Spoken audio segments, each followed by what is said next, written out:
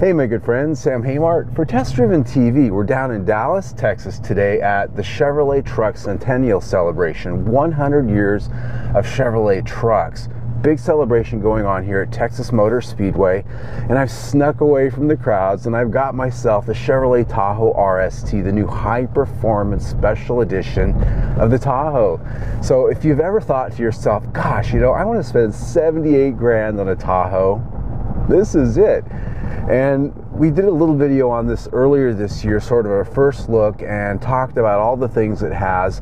Among the many things, it's got a performance suspension, performance brakes. This has got the package on it with the bigger wheels, 6.2 liter V8, and the new 10 speed automatic transmission, all in the Tahoe. And I'm getting my first quick drive in it right now, and that's what we're about to do. So, out here on the expressway, and hammer down. Nice small block V8 sound. Woo! Yahoo! All right, so it, it's got some pretty good pickup. You know, this thing's a really big, heavy Tahoe, so it's obviously not super Corvette Camaro SS fast. And we're gonna get on the freeway up here and, and do that again because damn, that's got a nice sound to it. So the RST has 6.2 liter V8, which is a Chevrolet engine. It's it's been around in some of the other vehicles, but this is the first time it's available in the Tahoe. 420 horsepower, and here made it to the new 10-speed automatic transmission that General Motors and Ford developed together. But General Motors has told us uh, they've developed their own control system, their own ECU, all of the hardware that actually changes the gears. And so we're going to see how it goes here. Exhaust system's got a nice pop to it, doesn't it? And I'm going 80 miles an hour and the freeway's right there, so I kind of got to be careful here not to break too many traffic laws because we are next to the speedway and they all know what's going on out here. Yeah, works pretty good, I'd say. This Borla exhaust system really does have a nice tone to it too makes going 80 and 90 miles an hour in a Tahoe just an aural joy. And these big Brembo brakes on this thing haul it down from 100 miles an hour, lickety split. Hmm, and they don't smell too bad either. Let's see, we're not being followed by the cops. Okay, bonus.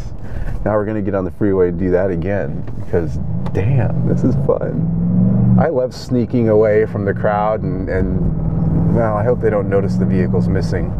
I found out where Chevrolet hides their keys on all their press vehicles here at the event. here we go again. Woo! 78K.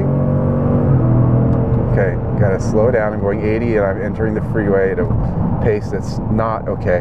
Now, this also has a performance suspension on it, which means it means it's a better suspension than the rest of the Tahoes out there. The ride quality here seems to be pretty good with these big wheels and tires, in spite of the fact that we've got a, a lower side profile there. Typically, that has an effect on ride quality here. Uh, the suspension's been tuned such that it all works together pretty well. And sometimes when you have these big heavy wheels on a vehicle like this, you get kind of a, a weird unsprung heaviness not going on here. You do still know you're in a big heavy truck though. That goes without saying. This is still a big heavy truck.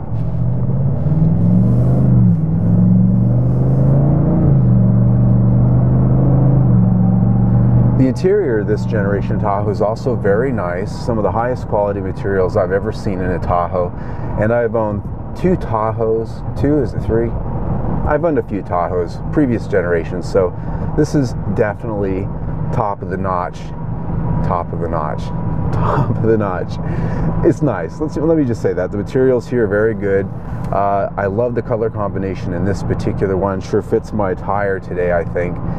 It's very Texas like and I'm rolling down here right next to Texas Motor Speedway right over there where we're supposed to be and there's the event I'm supposed to be at.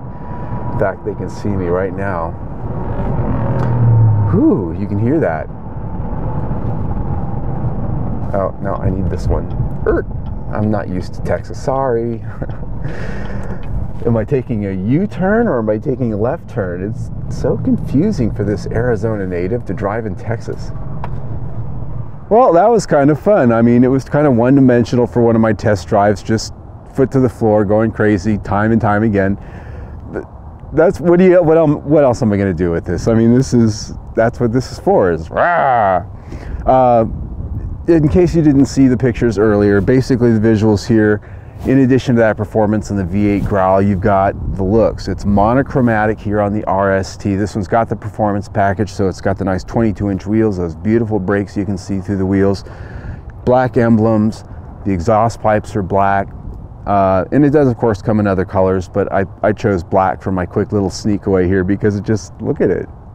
That was probably not informative at all because I wasn't able to format this like our regular test drives, but this is the new 2018 Chevrolet Tahoe RST. I like it. If I were buying a Tahoe, I would totally look at this one because it has the sporting intentions that I would normally look for in a car, maybe a muscle car. Well, I guess it is a muscle car, only it's a Tahoe. So there you go. 6.2, 420 horsepower, 10 gears, all in a Tahoe. I'm Sam Haymart for Test Driven TV. If you want to see more of this, more vehicles like this, click right there see our latest video, or click right here, subscribe to our YouTube channel. Either way, stay tuned.